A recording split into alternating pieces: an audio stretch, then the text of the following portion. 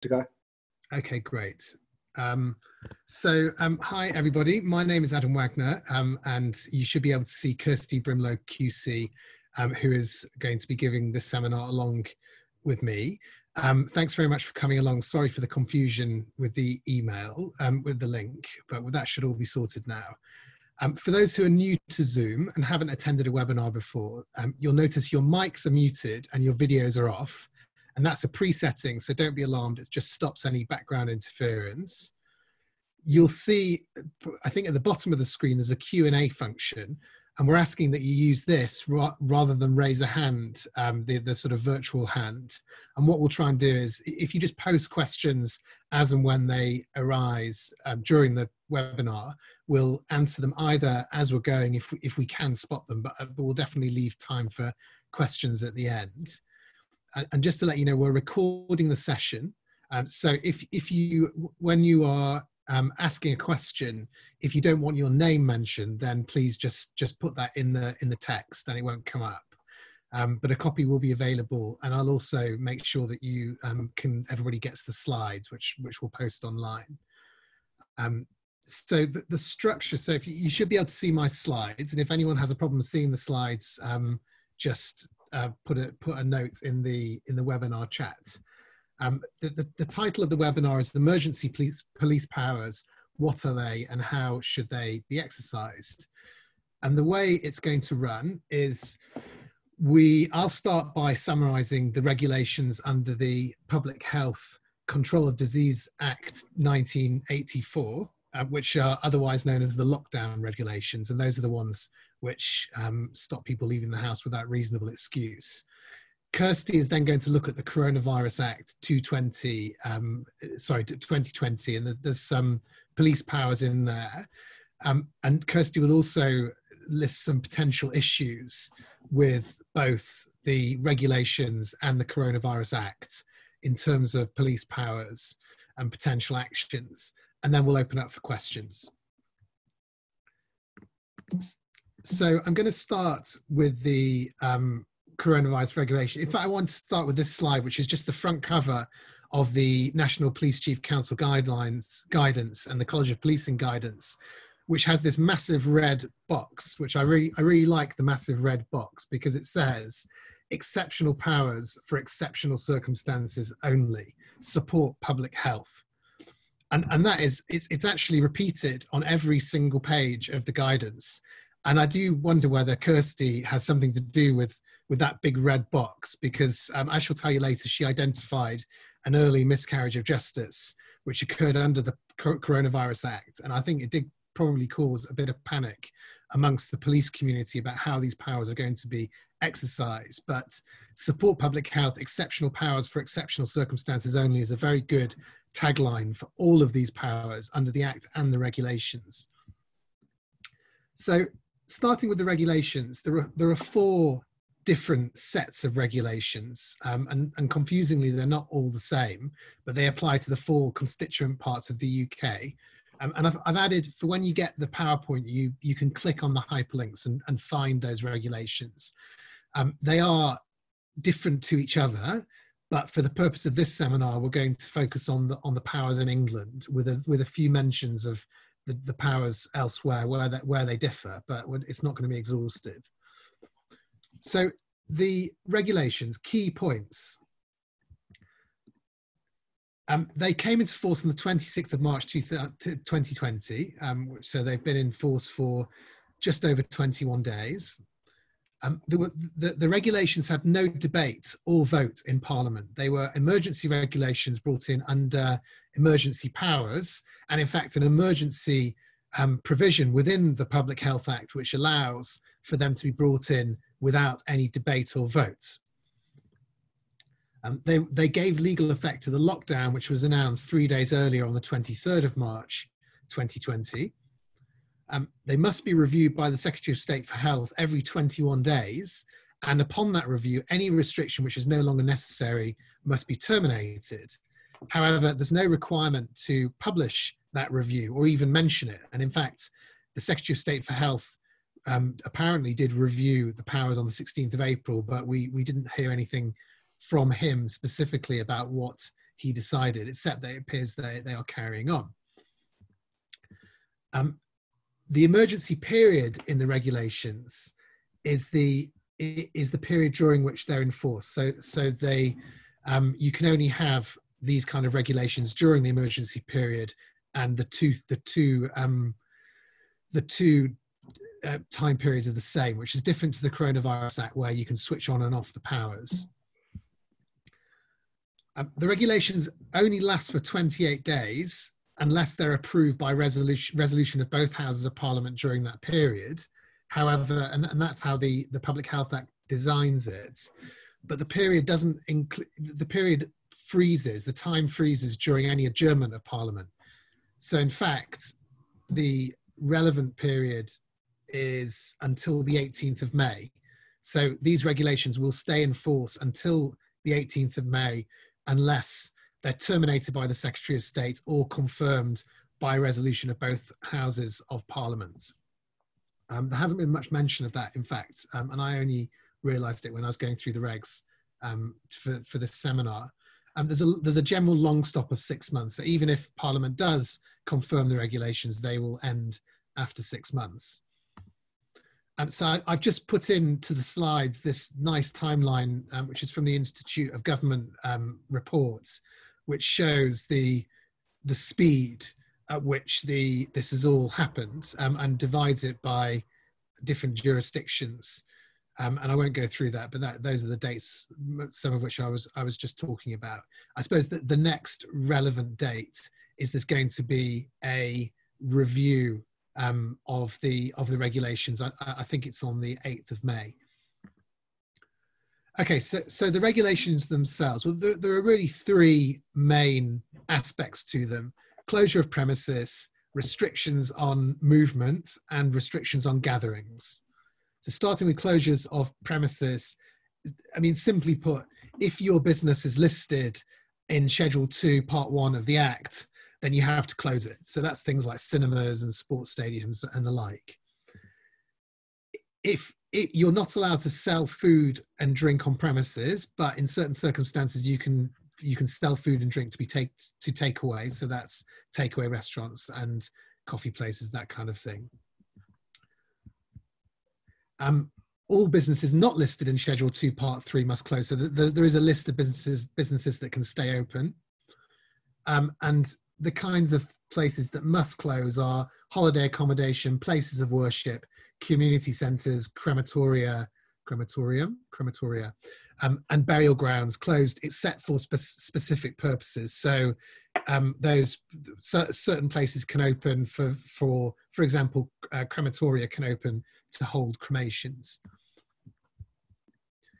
Um, that that's regulation four and five regulations four and five closure of premises then there's regulation six this is the famous one restrictions on movement this is what stops us leaving our houses um, well in fact leaving the place where we are living without a reasonable excuse and just pausing there it's important to note that the language in this part of the regulations is leaving the place when we are living so the actual lawful and unlawful behavior arises at the point where you leave you, the place where you are living.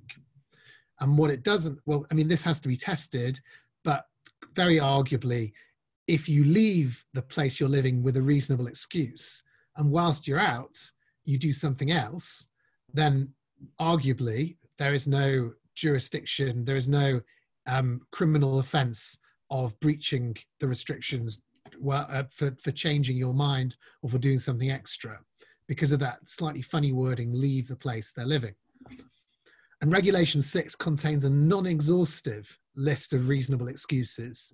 And how do we know it's non exhaustive? Because it, re, the language is a reasonable excuse includes the need.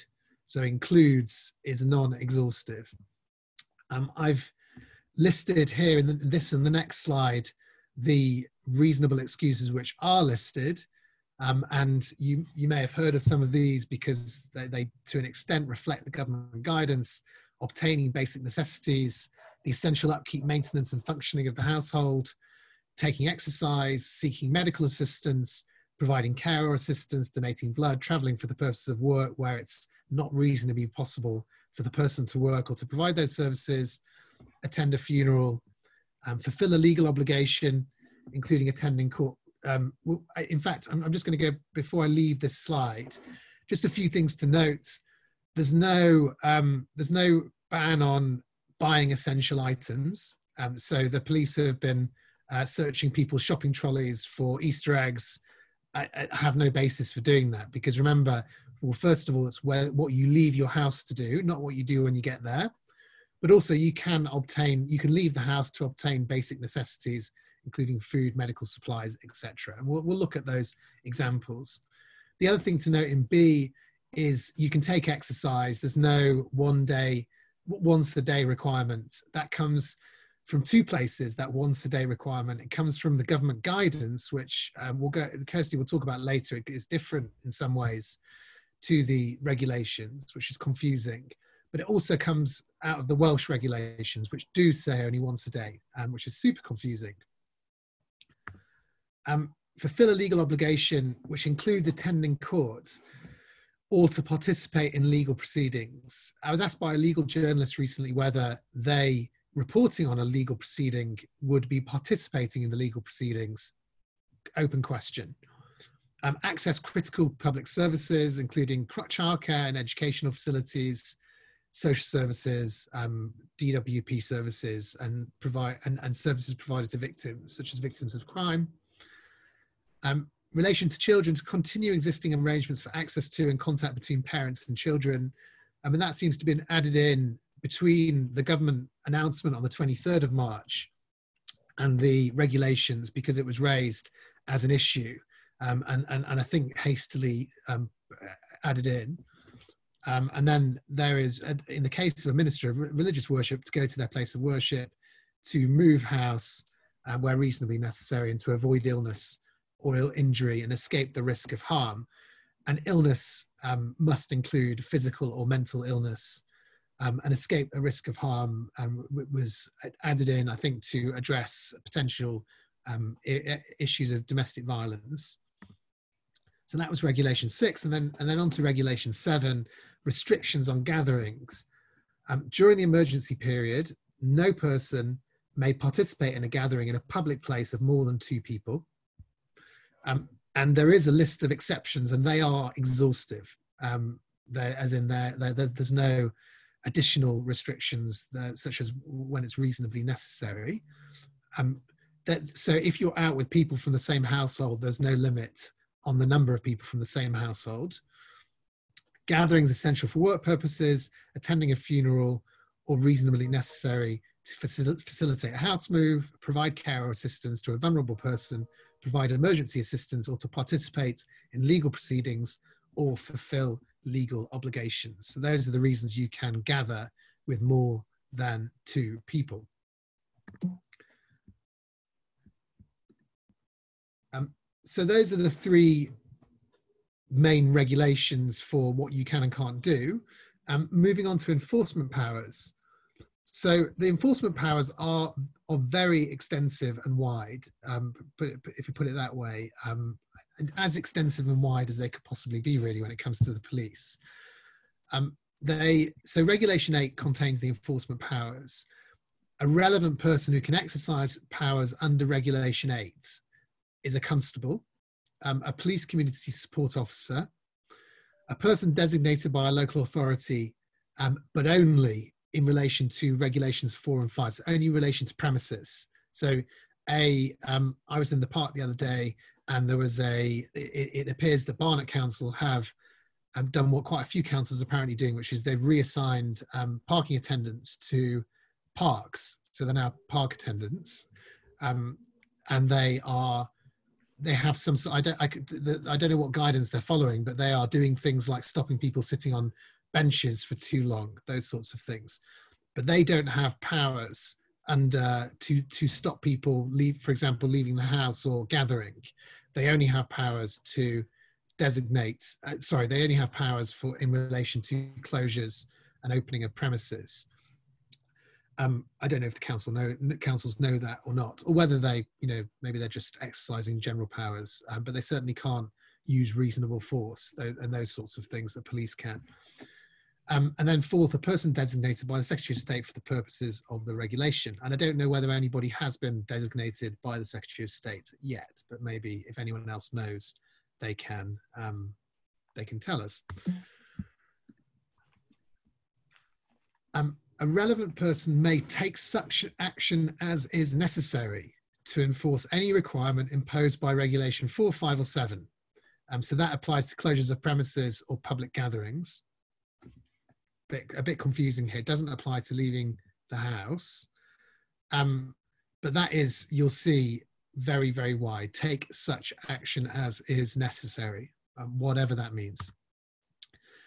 Um, they can give a prohibition notice to if if a relevant person um, that's one of the four previously believes that a a person is contravening regulation five um, sorry four or five and is necessary and proportionate to avoid future contravention so that's relation to premises prohibition notices now a relevant person who considers that a person is outside the place they are living in contravention of regulation 6.1 may a direct the person to return to the place where they are living or B, remove that person to the place where they are living.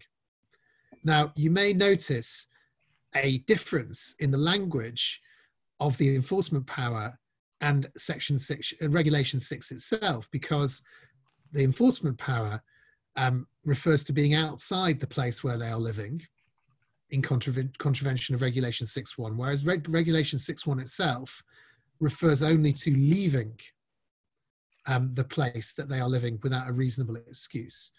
Now, you would think that because it refers back to 6.1, the person being outside is um, is effectively irrelevant. It, it, doesn't really matter if, if they're outside or inside. The point is they're, they've contravened regulation 6.1. And so probably the, the best way to interpret it is that it's when you know the police find somebody um, who is maybe sunbathing in the park and they say to them, why are you here? And they say, well, I just came out to have a barbecue and sunbathe. And they say, and, and that's not a reasonable excuse under the regulations for leaving the house. But they would have to in, inquire into why they left the house rather than asking why they're there now. Um, but it, it's, it's, a, it's a bit of a mess. They can direct the person to return to the place where they're living or remove that person to the place where they're living. Um, and they may use reasonable force if necessary to remove that person. Um, children, so that children can be um, directed, um, but they have to be directed through an individual who's responsible for them, who's with them at the time. Um, and a where where a relevant person has reasonable grounds to believe the child is repeatedly failing to comply with a restriction in 6.1 the relevant person may direct any individual who has responsibility for the child to secure, so far as reasonably practical, practicable, that the child complies with the restriction.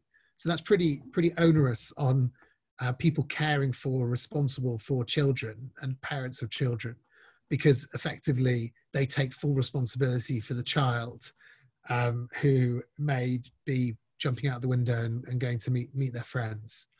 Um, that must be necessary and proportionate um, dispersal of unlawful gatherings, where a relevant person considers three or more people are gathered together in contravention, contravention of Regulation 7, they may direct the gathering to disperse or direct any person in the gathering to return to a place where they're living, or C, remove any person in, in the gathering to the place where they're living.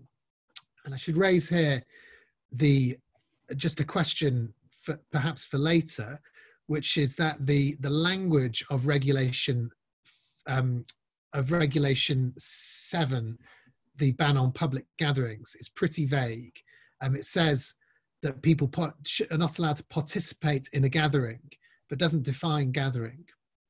Um, now, David Mead, uh, Professor David Mead, has done a very good article on this, so um, I highly recommend that on on just just just exploring the, the issue of what it might mean with reference to public order powers um, and the and convention case law. But plainly, there is going to be quite there are going to be questions about whether when someone turned up at the beauty spot or the gather or, or, or the park and they found themselves as part of a gathering you know are they really participating if they're going to be dispersed or, um, or, or reasonable force used on them to disperse them, is that power being exercised lawfully, um, and, and various other issues.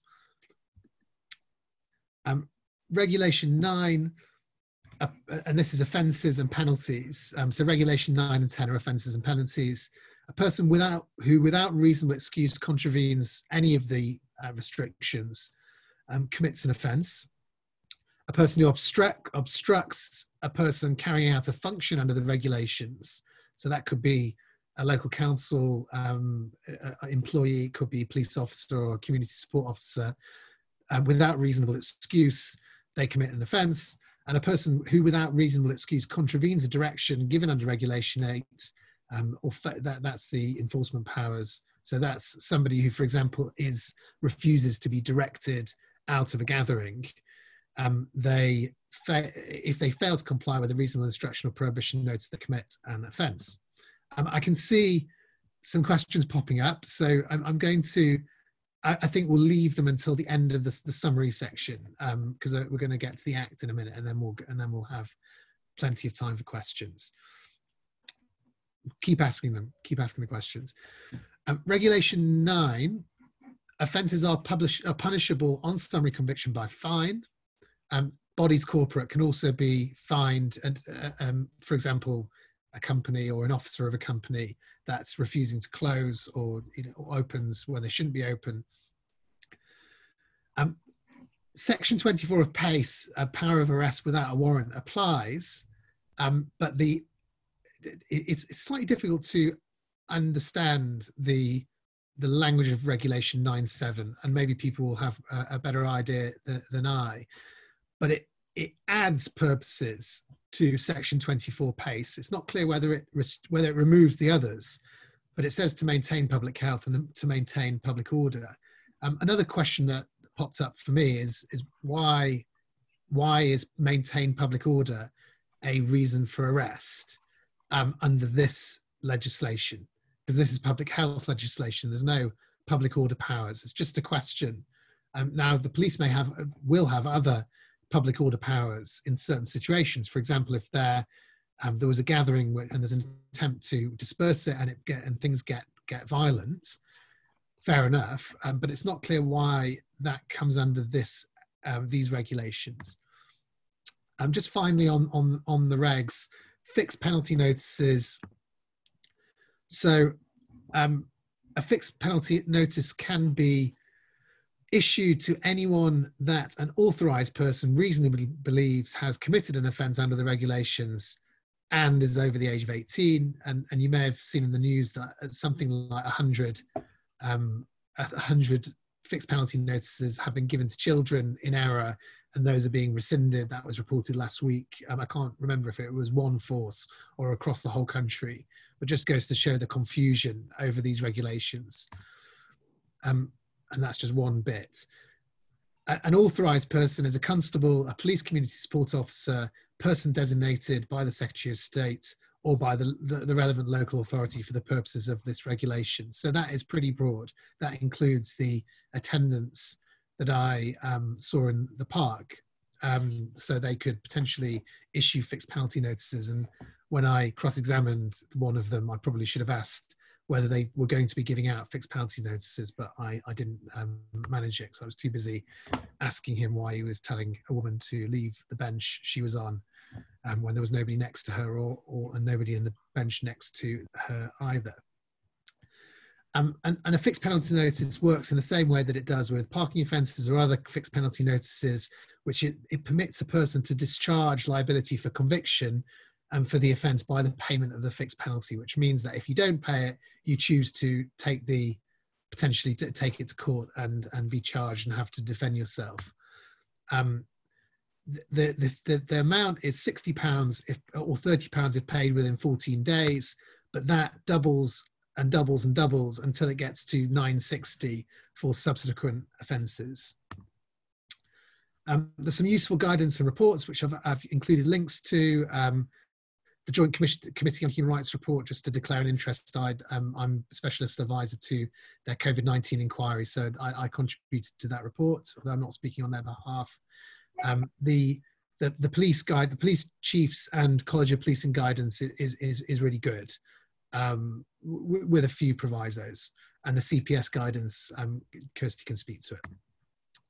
And, and I've just included in this slide a, a bit from the JCHR report, which is a useful short table which goes to um, the differences between the government guidance and the law, which is the regulations, first of all, um, and why things have been a bit confusing, and also the, the difference between different guidance in different parts of the UK.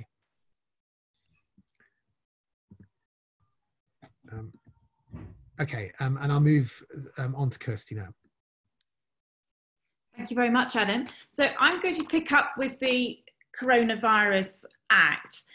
And you can see there that that came in on the 26th of March 2020 and it expires on the 24th of March 2022. You, will immediately see that there's a a, a, major difference there. And obviously, that this is an act of parliament, so it's a primary legislation, whereas the regulations we've been talking about are secondary, it's secondary law, secondary legislation. And so the, uh, and it's a, it's a substantive difference because when you're looking at applying the regulations, you need to go back to the purpose of the Public Health Act 1984 as very heavily amended. And that has been an issue with certain academics and and others who have been debating whether or not the regulations are ultra-vires and they've been looking back at the purpose of the Public Health Act. So, whenever you practically are in a position where you are representing somebody who is being prosecuted or has received a fixed penalty notice under the regulations, always bear in mind that you need to go back to the purpose of the Public Health Act. It's not a public order act. So, but the Coronavirus Act uh, has it, it, it passed through Parliament, albeit Adam might correct me on this. I think it was only about six days. It was extremely quick, but it, it is primary legislation, and therefore it is uh, it is better it's extremely draconian, but it is better than the regulations in that it does have safeguards within it. Uh, uh, uh, and therefore, it is um, more in keeping uh, with a piece of legislation uh, that is going to have um, minimal interference. Well, it's draconian, but it's, it's, it's, going to be more, more likely to be compliant with convention rights than, than clearly the very wide reaching regulations are. So it must be renewed, renewed every six months, and the powers only apply during the transmission control period. It's activated or deactivated by the Secretary of State for Health. This is really important because initially there were announcements, in fact, from our Home Secretary Priti Patel that she was responsible, and, and in fact, I think recently she's saying she's responsible for these uh, powers, but it's not that neither the regulations nor the Act or anything to do with her as the Secretary of State. So we can move on to the next slide.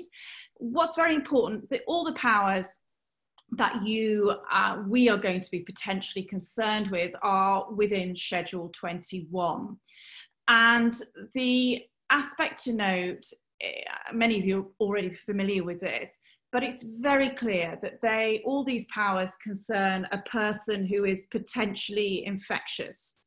And the definition of what somebody who is potentially infectious is, is, is set out. And there's the link to coronavirus and uh, that the person might infect or, or be or contaminate uh, with coronavirus or that the person has been in an infected area within the 14 days preceding that time. So this is nothing to do with the aspect of reasonable excuse for leaving the place where you're living. these are powers which were brought in under this particular act, particular act to assist public health officials in dealing with those who might be potentially infectious. And they really break down into three uh, sections within Schedule 21. And you have the section which is uh, the pre somebody being uh, taken for assessment or screening and they uh, we'll, we'll, come on to it they basically start at about section six six and seven and then you've got the powers which are exercisable from section eight at point of assessment screening and then you've got the powers which are exercisable post assessment or screening which are section 14 onwards uh, and in the middle of that, section 13, you have some freestanding powers for police officers and immigration officers. So, coming in at the police powers, we have there that if during a transmission control period, a, a constable or immigration officer has got reasonable grounds to suspect uh, that a person is potentially infectious, uh, this is the direction. They may, subject to paragraph three, direct the person to go immediately to a place specified in the direction which is suitable for screening and assessment, or remove the person to a place suitable for screening and assessment. And if we can just click on, these requirements are very important proportionality. And the proportionality tests are set out with the uh, link back to obviously the purpose of this primary legislation in the interest of the person, for the protection of other people, or for the maintenance of public health.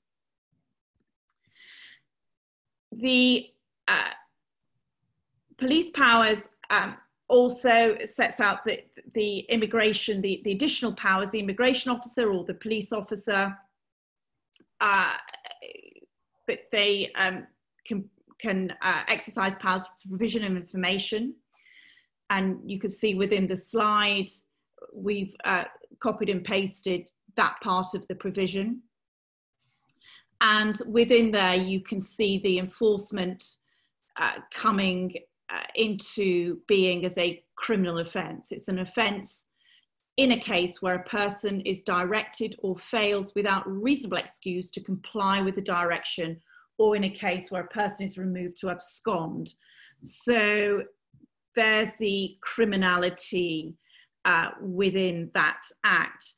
Further powers, this is on to when you're actually in the assessment screening to uh, again the, the, the, to support the public health officials to keep them there and a person who fails without reasonable excuse to comply with a direction is guilty of a criminal offence and liable on summary conviction to a fine of up to a thousand pounds. It's quite interesting here because obviously the regulations have the punishment of a fine if somebody is prosecuted and taken to court, and that fine would be unlimited. Although it obviously would have to be means tested when actually at court. And here there's a cap on, on the fine of a thousand pounds. And potential issues, well, there are many. Both sets of laws are certainly the most draconian since the Second World War. And there perhaps was some consideration that lawyers or, or activists were slightly muted when these laws came in. Perhaps because of the severity of the pandemic and clearly everybody being required to, to work together to tackle the pandemic. In my view, although there's, there's much about Lord Sumption's opinions that I don't agree with, particularly his views on the um, Article 8 and so on of the uh, European Convention. When he, on the Today programme, uh, basically said these powers, and he was dealing specifically with the regulations, are moving us towards a police state. And he was very critical at that time that there was the use of drone surveillance by Derbyshire police. That opened up, I think, some of the more right wing press in particular to start considering what was happening here because he's not, Lord Sumption is not. Uh, perhaps the usual person who you would expect to have, have made a comment like that. Now, others consider that he should have remained entirely quiet as a as a retired Supreme Court judge and, and not spoken at all. I, I, disagree, and I think that he is very much responsible then for the further scrutiny of, of the laws that in fact were passed and how astonishing they are. I'm going to talk very briefly about, so in order to allow time for questions, about the case of Maria and Marie Dinu. Now, she's a woman I've never met, but she came to public attention because on the 28th of March of this year, staff at a railway station at, New, um, at, at uh, uh, York railway station, um, sorry, it was Newcastle, she travelled from York, Newcastle railway station, contacted the British Transport Police and said that she was loitering between platforms. Now, the British Transport Police, police attended upon her and she simply did not speak. The evidence uh, we discovered subsequently was that she wrote on a piece of paper the word Aberdeen and nothing else. She then was arrested and detained. So this was on a Saturday, and she was detained the Saturday night, the Sunday night, in in police cells and taken to North Tyneside Magistrates Court on the Monday. She was then convicted for an offence of uh, travelling without reasonable excuse, but all under under Schedule 21 of the Coronavirus Act. By the Tuesday, uh, a journalist at the Times newspaper contacted me to say that she'd managed to get the actual charge from the British Transport Police, and this is what it said. And she was confused. She said the Coronavirus Act seems to deal with potentially infectious people. And I'm confirming with them that they didn't consider she was potentially infectious. Could you have a look? Uh, under the usual times deadlines. Um, I had very limited time, and obviously the legislation is quite new, but it was pretty apparent that they had mashed up the regulations into the schedule or vice versa and made up uh, vice versa made up an offence and not only that it had been prosecuted and it had had it had resulted in conviction by a district judge at North Tyneside Magistrates Court, and she was fined about six hundred pounds plus there was a um, there was there was cost I think about sixty pounds on top of that. Uh, and then we discovered all of this went on in her absence because as she wasn't speaking, the district judge took the view that she was being obstructive and so sent her down from the dock to the cells. And so she was tried in her absence without even having the papers uh, served upon her, having uh, any opportunity to have the police officers come and give evidence for her to question them. All of this also was done outside the viewing of the press, who only heard about the case when there was a press announcement by the British Transport Police after the case had finished boasting that they have been responsible for the first prosecution under the Coronavirus Act. Uh, and all of you on this webinar will be able to identify at least six fundamental uh, legal errors there. Um, and we, we don't we could we could almost have a quiz on it. I mean, there's there's just so many. So uh, the Times then on the Wednesday ran the story she was convicted of an offence that does not exist. Uh, and um, I, I, I, relied on, on, on my um, quick quick perusal. I, I, would I would say that subsequently I, I found myself supported by a lot of my uh, fellow lawyers on, on, on Twitter in particular, which gave me gave me some some relief. But it, I'm sure you all know when you're dealing with new legislation and and and and particularly when it's gone through so many safeguards and fails so badly, there's always that, you know, how could this have happened? Am I the one who's just completely misread all of this? What's what's gone on?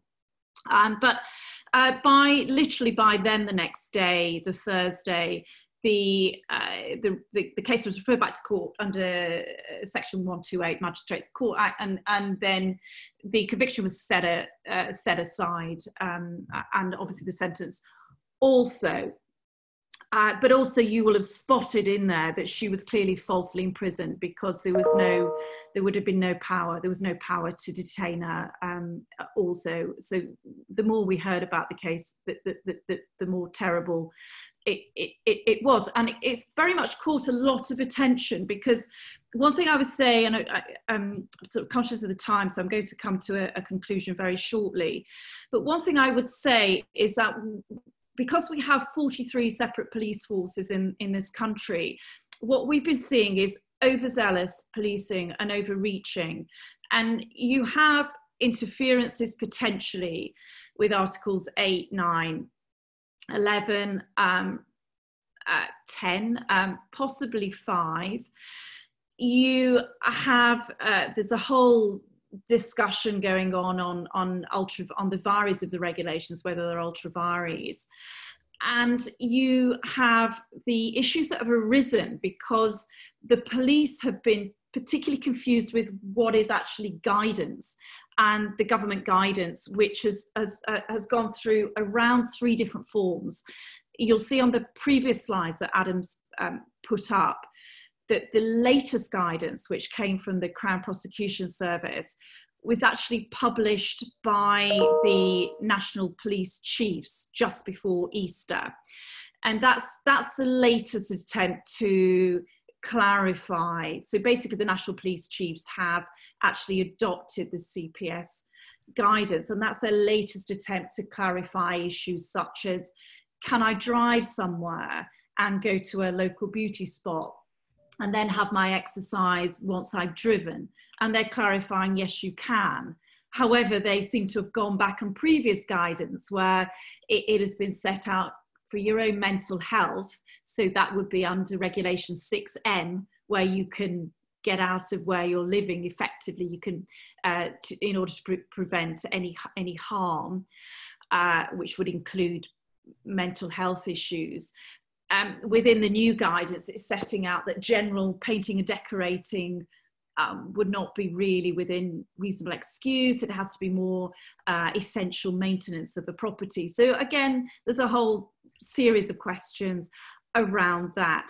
There's an absolute lack of clarity, as we can see, we set out in the potential issues.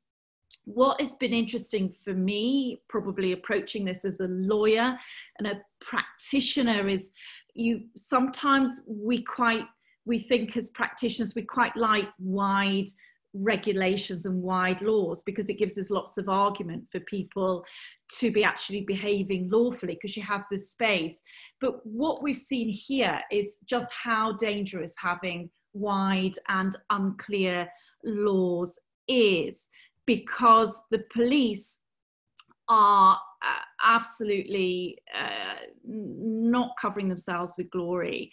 And I don't think there can be any argument anymore that these are outliers or uh, the, the, odd officer here and there, and generally the forces are behaving um, entirely sensibly. Because what we've seen has been uh, announcements coming from police chiefs in particular where they so the, the adam referred to the looking into the shopping trolleys that was the northamptonshire police chief uh, who uh, made a pronouncement before Easter that this is potentially what the police were going to be doing and then had to backtrack. We've seen similar announcements from Derbyshire, and a lot of this is up north actually, which is where I'm originally from. Lancashire's been shocking on the, I think it's issued the highest number of fixed penalty notices.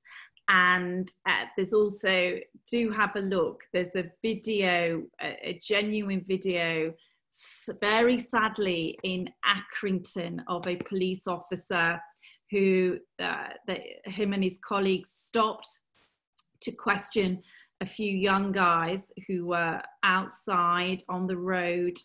And the uh, some it escalated but the officer was saying to him uh, the, the guy was saying i've done nothing wrong and the officer was saying to him you know about his attitude and said i can uh, i'll make something up who do you think they're going to believe you or me that officer's now been suspended uh, and a couple of days ago lancashire police issued a statement obviously apologising and uh, accepting how much damage this can do to, to public trust.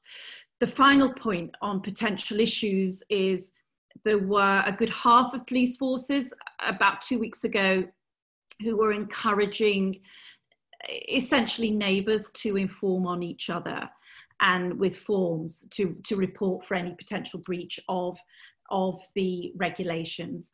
And that is not a good thing because you're breaking down trust and creating social divisions. And i've had at least i've had one case where it's pretty clear this has come from a, a neighbor perhaps with a grudge and uh, it, it, it, it, really um, is it is it, it then becomes an issue where general cohesion with a community can start to to break down.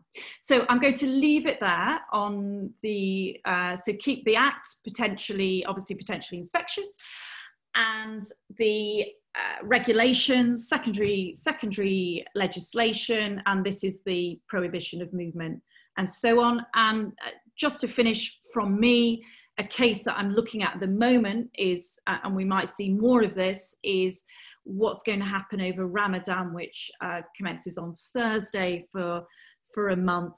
And so there may well be some movements in terms of proportionality of the closing of uh, religious uh, places of, of, of, places of worship.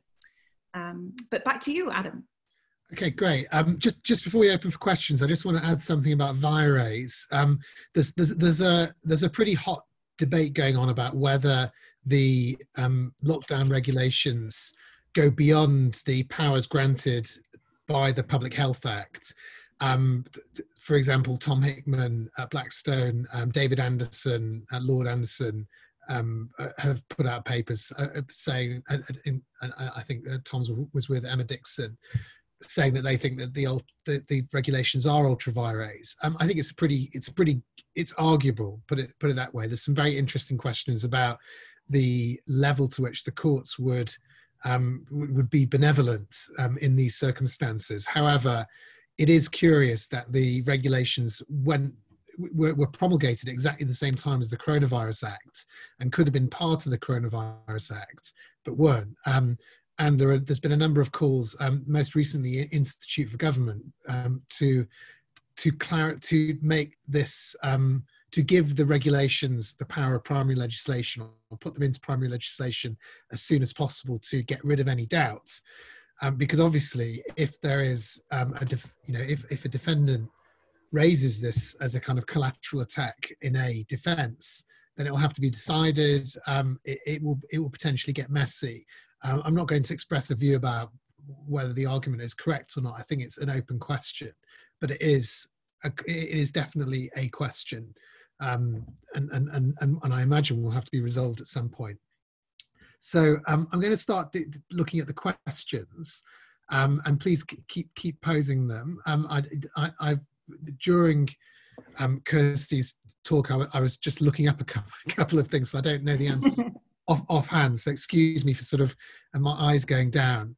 Um, so, so Alice Hardy has asked: Is is there no objective requirement to the enforcement powers, or are they purely subjective? I.e., the relevant person may take steps which they consider a person to be outside the contravention of Regulation Eight. That's the, well, the Regulation Eight is the powers, enforcement powers, even if an, an unreasonable belief. And the answer is that they are purely subjective. Um, they are, that's the width of the powers is in part um, because of this very, this subjective um, test for, you know, it is it, the fixed penalty notices, I think in, if an officer believes um, the, um, the ability, the power to remove somebody using reasonable force is also something like if, if an officer considers. So they are very subjective and um, one of the proposals for reform of these powers has been to include an objective requirement, such as, as Alice is suggesting. Um, anonymous attendee has asked how old is a child. Um, there's no definition, I don't think, in the regulations themselves. So I think the answer is under 18. Under 18, yeah. I mean, the regulation, I think that, that, they're only actually 11 pages. I mean, it's which is a slightly astonishing thing how somebody could mix up the regulations with the Coronavirus Act because actually they're not too onerous to read. Um, Matthews asked if a child is outside with no accompanying adult, presumably the police can exercise the enforcement power against the child directly. Um, is that correct? I think yes, that is correct. There's no there's no age. The only age limit in the regulations is for fixed penalty notices, but it, it, it, there's no um, there's no limit on the age, or there's no there's no lower limit um, in, yeah. for the age of a person for whom the police can exercise powers to, for example, remove them from a public gathering. So, a group of 15 year olds um, in a park, the police could, in in principle, use reasonable force. And again, it is that subjective belief. Um, Rupert Bowers has asked, so if you have a reasonable excuse to leave home and then whilst out decide to gather in a private place, then you are doing nothing wrong and neither is anyone else in the same position. And, and the answer is, well, there's two parts to that.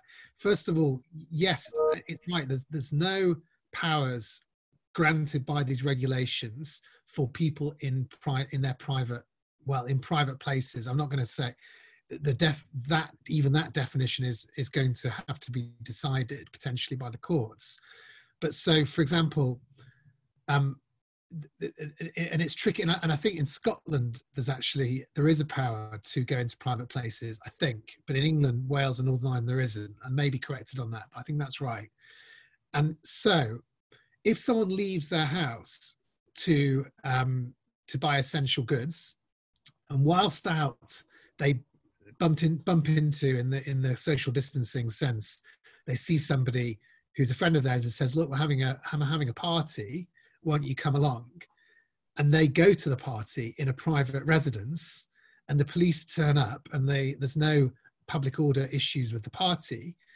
Then, arguably, I think very arguably, as long as those people have left their houses for the for for a reasonable with a reasonable excuse, it's quite difficult to know what offence is being committed, even though this is something which is quite a um, seems to be quite a common concern of police.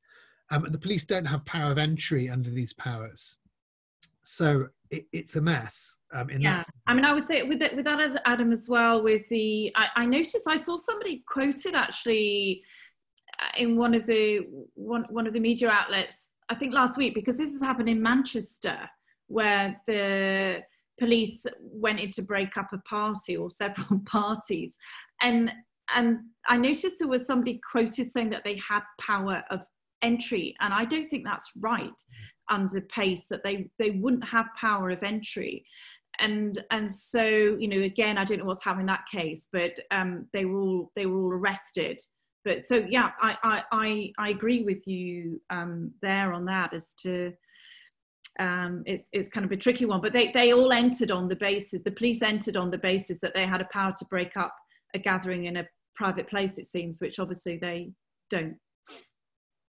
Um, Rupert Bowers has also asked um, regarding fixed penalty notices, there isn't any power to ask your name and address, is there? No, there isn't. Um, and that's in the um, it's made clear in the guidance in the yeah. college of policing guidance which says there's no power of stop an account yeah it um, is. although i would say with that adam it, it, does make it clear that there's no power of stop or account a stop an account but if you're looking at what's the reasonable excuse for being outside your place of living if the person doesn't say anything, is that then going to give them reasonable grounds to consider that they have no reasonable excuse? And if somebody remains entirely silent, then no doubt that will be their grounds initially looking at the lawfulness of their actions at that point.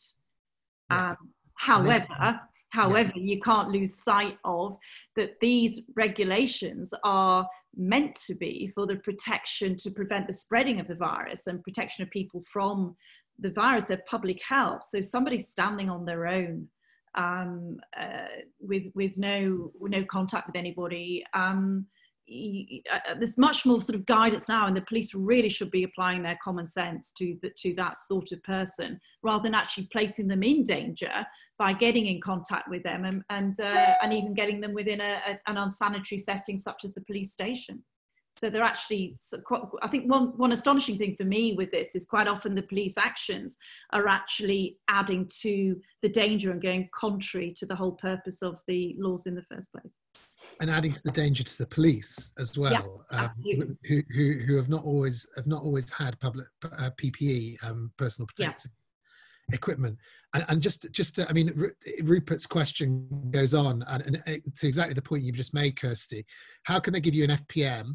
And also, how do they physically give it to you without breaching the two meter yeah. guidance? Presumably, you could stand behind the, uh, uh, that to refuse to take it. Um, I agree with you, Kirsty, that, that, that because there's a, an offence of obstructing somebody carrying out a function under the Act, it's it's becomes a bit more difficult um, if you're just refusing to answer or refusing to account for yourself. But if there's no power, there's no power. Um, but I would I'd, I'd add a, a, general point to the one that you made, which I think is exactly right about the this these are public health powers, mm. and the mm. police should be approaching them entirely through that lens. I mean, it's something I've, I've said and, I, and I've written as well that I think the way that the police should be thinking about these powers and, and particularly around prioritization you know what are they prioritizing and why? They should be speaking to they should be look, listening to public health officials and taking public health advice on what are the real risks. You know is it going to be people going out of the house to buy easter eggs on their own and socially distancing?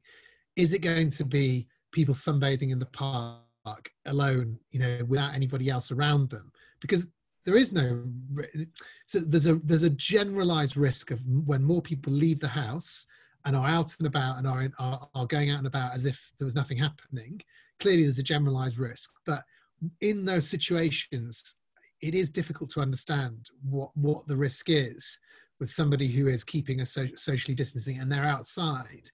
Now that compares to for example um, pu- public gatherings like you know people having outside barbecues when they're all near each other. I think that is very quite yeah. clearly a public health risk. Yeah. As is, um, you, you know, as is actually as is parties in houses. I mean, and unfortunately, that, or fortunately, depending on which way you look at it, those aren't part of the regulations. But those are clearly people yeah. gathering in inside is a public health risk. So. I think that it's it's a bit of a minefield, um, and the guidance and I agree with you that the the exception the the not the behavior we're seeing which we're concerned about is probably not anomalous if if it's emerging from so many different places. Um, Haley Chapman's asked reinforcement for children um, regarding enforcement for children failing to comply with regulation 6 that's the reasonable excuse leaving the house regulation. What sort of measures are the police taking or you envisage the police may take against parents as they can't make them lock their children up. well, I suppose they can't, especially when the children are teenagers. Are there any measures that you'd expect would be reasonable? Thanks. Um, Kirsty, what, what, do you, what do you think this could mean? What, what can they be asking people to do to deal with children? Yeah, I mean, the, the, the, the, the National Police Chief's guidance not the one on the just before Easter, but the one before that, which um, I think was the 31st of March. I'm pretty sure that because there's been so many now. And that sets out that the police should be engaging, explaining, so explaining what the potential legal breaches are, encouraging, so encouraging that that you know that there's a sort of step away from a potential breach. And it's only as a last resort that there's enforcement. And that applies across the board with with every situation inclu- including with with with a parent and I would make a comparison in some ways to uh, when, myself and Adam have spoken about this previously, I, I was looking back on the um, enforcement of ASBOs you know, when they came in in, in, in 19, 98, and that was under the Labour government. And that's really the first time we have police actually policing public spaces in, in, in that way. And, and they overall were a total disaster because they ended up criminalizing children and in, in situations where they there was no imprisonment, for example, on the, the original act that they were actually doing. And, the, and there's a real danger here. But with, with parents, um, you have to look at the circumstances and it all has to be entirely proportionate. And um, you, would have to really be having the, the, the parent within sub, sub, sub, substantive breach where they're, they're, they're ignoring and um, deliberately flouting directions from the police and so on. But keep, keeping that public health uh, lens um, firmly in place and always relying on that this any enforcement is meant to be absolute last resort. I, I finally say just on this with it's unfortunate I think that the fixed penalty notice, which in itself is draconian, has a may there that the police may give a fixed penalty notice. So there's nothing within the regulations which is essentially stopping the police from jumping straight to criminal prosecution, which is one of the issues we've been seeing. And also, many of the forces didn't actually have the forms for uh, fixed penalty notices, many still don't. And what should have happened is that it should have been that enforcement is an absolute last resort should have been made very clear. And then the second stage should have been looking at fixed penalty notice. And then the third stage is looking at prosecution. But at the moment you've got a jump with a big gap from six uh, to enforcement at nine on, on criminal prosecution. And that can devastate people's lives with having having a conviction recorded against them. Um, Sam Your gannon has asked, does the charge potentially constitute a malicious prosecution, in particular if you buy groceries and have something which is non-essential like chocolate eggs and you get charged for it? Well, it's definitely a wrongful prosecution. Yeah, malicious um, is always hard, isn't it? But um... I, I, I, I, think in the early days, the police will be excu- will be excused for not understanding the law in terms of any kind of malicious prosecution but they'll obviously be wrong. That those those offences will will be appealable.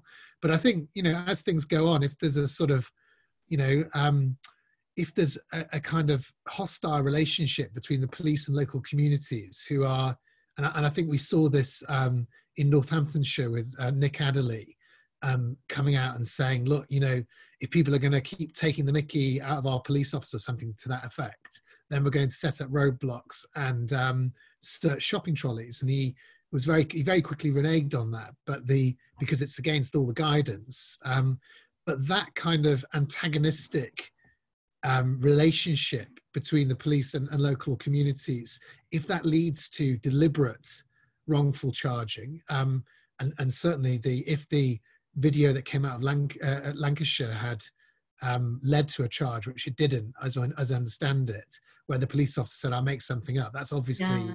malicious. But I think just making a mistake won't. Um, but the mistakes, as the police get more familiar with these rules, the police, you know, they, they will be less, there'll be more of an inference that they may be, um, you know, and, and be, being antagonistic. So that they need to be careful. Um, anonymous attendee is asked to be clear can a local authority designate a relevant person for enforcement under regulation 10 i.e fixed penalty notices relating to restrictions on movement notwithstanding the limited power of the designation itself to Reg 4 and 5 earlier in the regs? I, I don't know the answer um, off without having it in front of me. Um, so I will, if anonymous attendee, if you email me, the, the email address is at the bottom of each slide, uh, which I've just put on. So um, email me and, I'll answer it. Um, um, Kirsty, do you want to take this one from Nick Stanage? Um, in what we might call a run-of-the-mill county court claim against the police, for example, where one, the police have unlawfully directed a potential claimant to return to where they're living, two, there are no aggrava- aggravating features. I believe, alas, that only very modest or indeed nominal damages would be recoverable, and award of exemplary damages seem unlikely since the intention of the police is to save life. Therefore, stories that make good headlines might make poor claims. Um, do any of our solicitor colleagues think otherwise? Um, or, or you, Kirsty? Yeah, well, that might be one for for uh, solicitors' colleagues. I'm quite happy to to duck that one, but I mean, it all depends on the on the circumstances. But but yes, I mean, a, a situation like that, uh, as as Nick Stanish has set out. I, I wouldn't I wouldn't disagree with that. But I think the, the cases that have made headlines aren't those type of cases because the the one that really hit the headlines was a, a woman who didn't speak standing at a platform who ends up unlawfully you know falsely imprisoned for two nights in in cells and then uh, and, and, then you know convicted for an offence that didn't didn't, didn't actually exist. So I, I don't think those types of cases are making the headlines actually sadly. Um, the, the behavior is much more extreme. Yeah. Um, anonymous attendee um, to adam court journals are key workers court journal may be a key worker in their own right because or public service to, in yeah. making proceedings judgments then I, am sure that's right. I mean, it must be. Yeah, right. they are key work. They are key workers. I think this is. Uh, sorry, it was for you, Adam. But um, I, I actually been doing quite a quite interested in this at the moment. There's going to be. It's, it's not my usual uh, newspaper to of choice particularly, but the Daily Mail. There's a journalist, a, a very good journalist there. She's their senior crime correspondent called Rebecca Camber, and she has been researching on the uh, lack of openness of, of courts and the figures. So her article's coming out fairly soon. The figures are pretty astonishing. And there's a real issue. I've been looking into it a bit recently. Some of the Crown courts are saying that they are uh, uh, open in public in that one Crown court. I think it's Canterbury is is being beamed into Maidstone and Maidstone's actually open. But of course, under the regulations, it'd be very difficult to argue that if you just wanted to see what's going on in court that day, it's going to be rather difficult to argue that you've got a reasonable excuse. So, um, but otherwise, on the remote hearings, uh, it, what's really happening is we are having um, secret hearings by default. And the journalists are not able to get listings of the cases in advance and they are having difficulties actually attending the hearings. And I think that's a real issue for open justice and um, yeah. public hearings.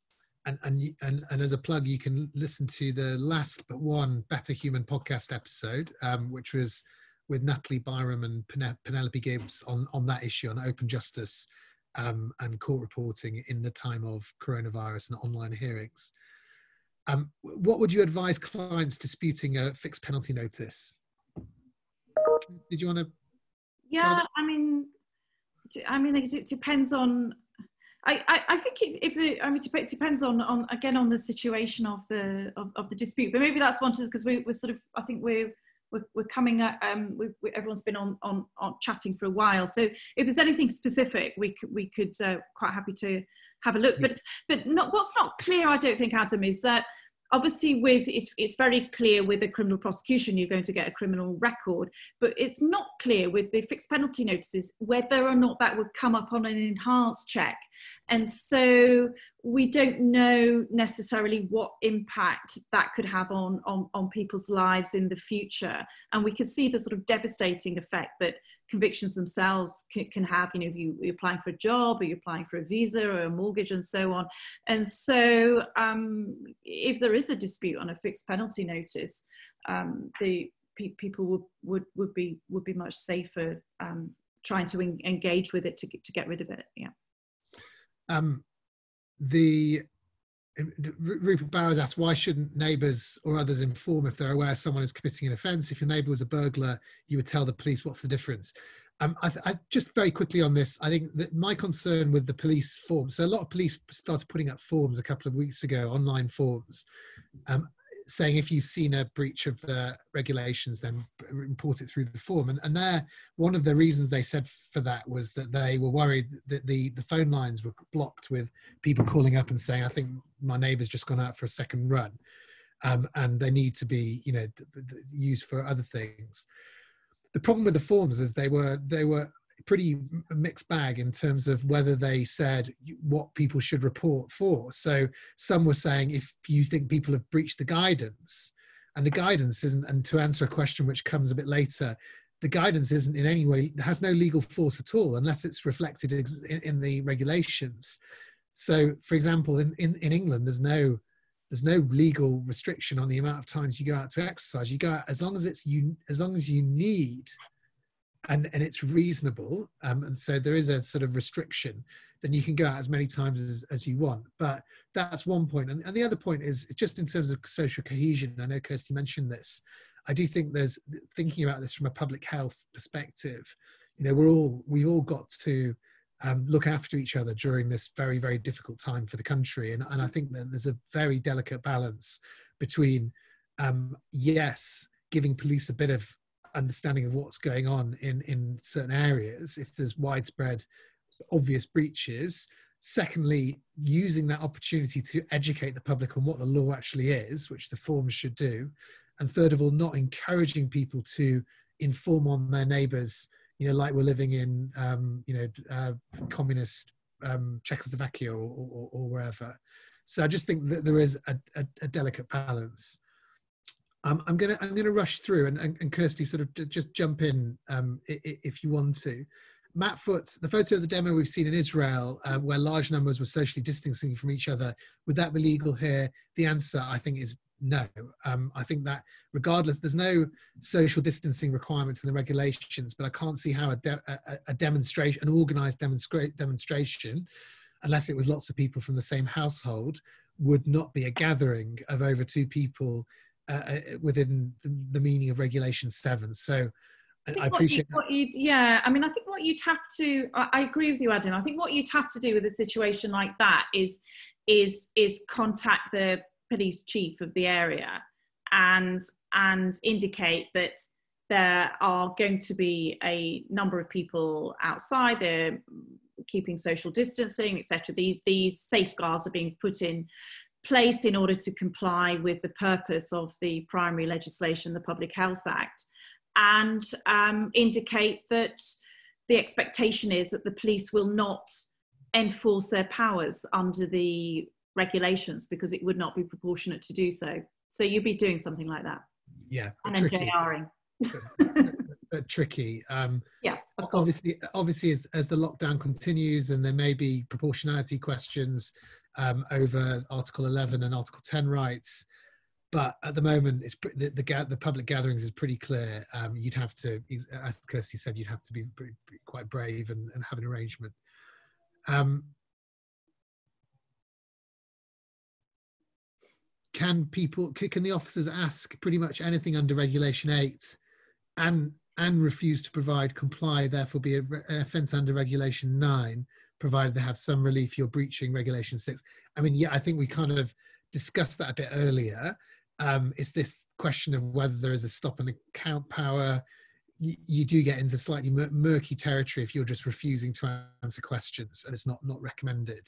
But technically um, the I mean, perhaps the answer is the police should tell you that you don't have, there's no um, power to for you to force you to answer, or there's no of forcing to of refusing to answer.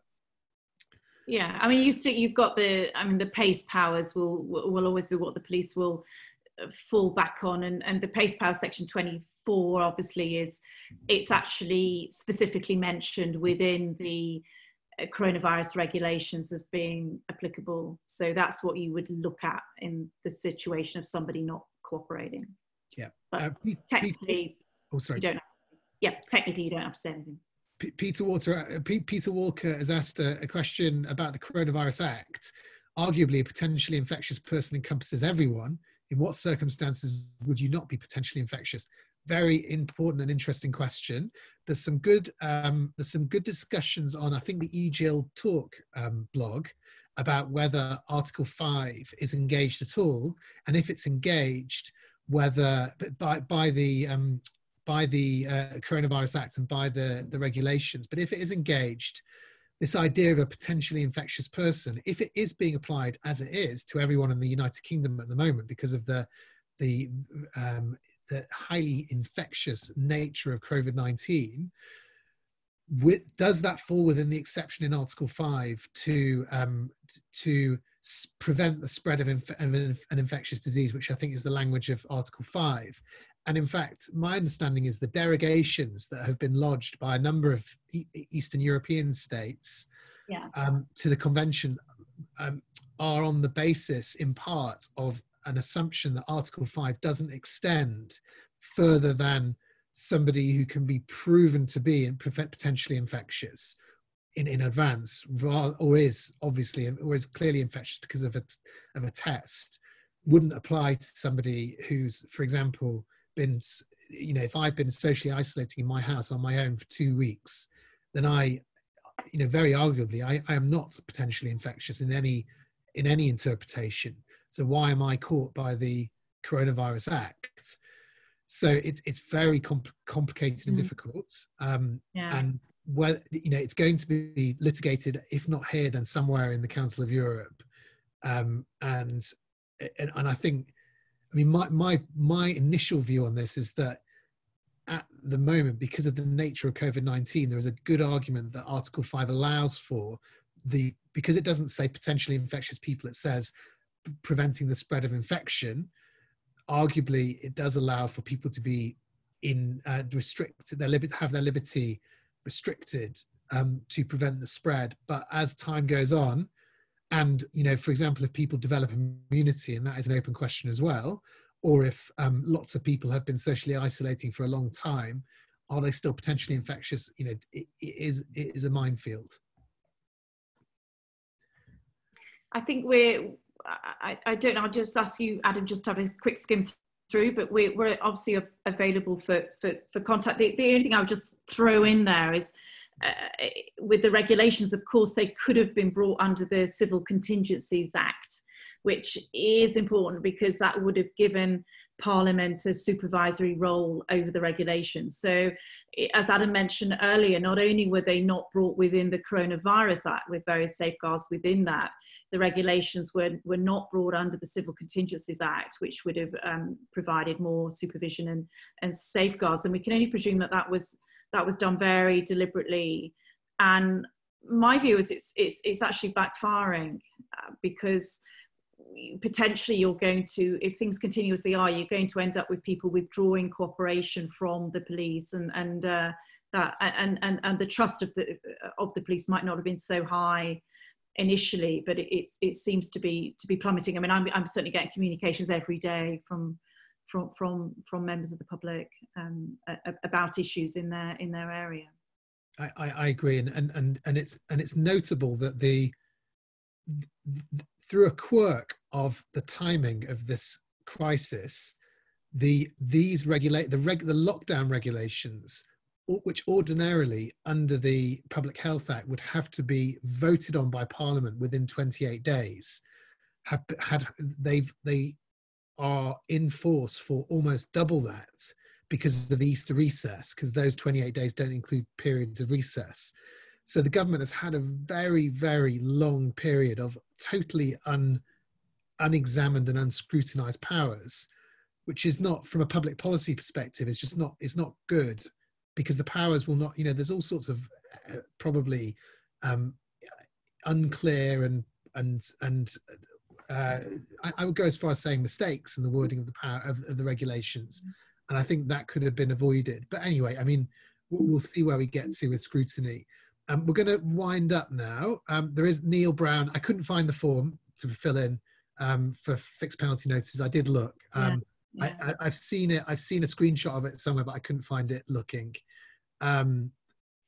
And is there a record of who FPNs are being given to? There's definitely been numbers released, which are very widely dis, yeah. um, widely vary across forces, but I haven't seen a breakdown of individuals apart from the fact that all the ones given to children are going to have to be rescinded um, and presumably, uh, you know, uh, apologies made.